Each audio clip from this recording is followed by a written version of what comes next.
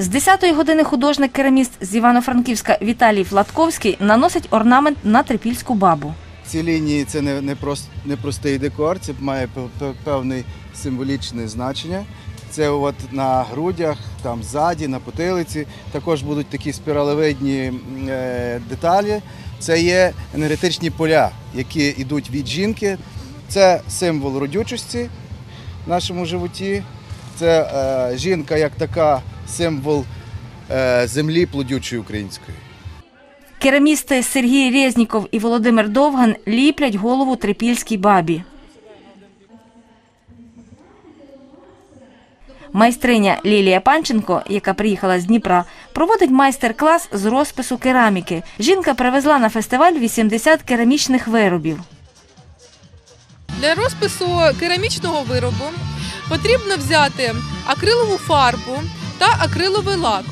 Е, Дуже добре, якщо у вас є яскраві глітери, для того, щоб е, виріб був е, красивий, такий блискучий і оздоблений. Ми наносимо малюнок і чекаємо кілька хвилин для того, щоб він висох. Потім ми вкриваємо його лаком та додаємо блискітки.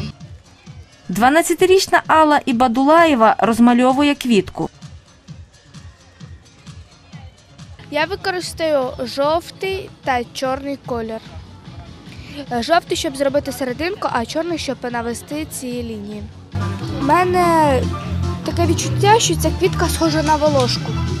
Кераміст зі Львова Юрій Токарський вперше в Тернополі на фестивалі. Привіз сюди 50 керамічних виробів. Серед них кухлі, глечики, горшки, підсвічники, чайники і ароматичні лампи. Це є горщик для запікання. Значить, для його виготовлення потрібно два сорта глини. Одна глина жирна, друга пісна. Для того, щоб е, та жирна не трісла при випалі, муситься змішувати один до трьох дві частини жирної, одна частина пісної. В залежності від того, яка температура в пічці і на якому місці стояв виріб, від того залежить колір. Він може бути від е, сталистого до чорного. Світлана Лазорик, Василь Панчук. Новини.